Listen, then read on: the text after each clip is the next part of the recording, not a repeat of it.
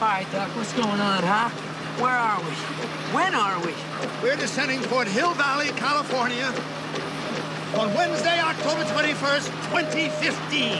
2015? So many of you may know that October 21st, 2015, if you're old enough to remember Back to the Future with Michael J. Fox, was the date that they went into the future to see what was going to be happening. And we happen to be right now in that future. Uh, Michael J. Fox talked about holograms and hovercrafts and um, all kinds of interesting things, some that happened and some that did not. But as we educate our students, we have to remember that we always keep the future in mind. Sometimes we'll be able to predict what the future is going to hold for them, and other times we're really kind of using an educated guess process to determine what the students will need to know 20, 30, 40 years from now to make sure that they are competitive in the global economy and the global world. And so I just take this opportunity to tell you, uh, to say to you, we're celebrating Back to the Future Day on October 21st today.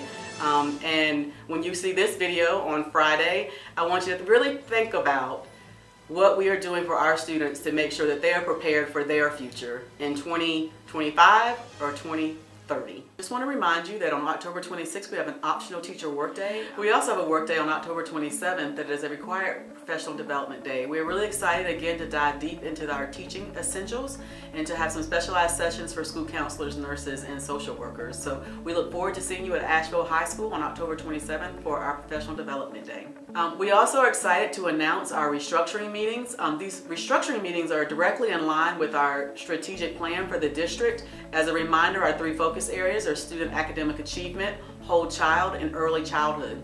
Among all of those areas, we are looking at restructuring our district um, for our schools. Specifically, we'll be looking at our Montford campus when we open our beautiful school for Isaac Dickson in August 2016. And we really want to look at the needs of our district and our students to determine what we're going to do with that campus. And right now on the table are uh, several items, such as an, another elementary school, maybe a secondary school, or even a middle school. So we look forward to seeing you at our restructuring meetings. Those dates will be November 5th, November 17th, and November 19th, uh, starting at 5.15. And you can check our website for more information about our restructuring meetings. And I look forward to seeing all of you at our meetings to participate in the next direction of our school district. Thank you so much.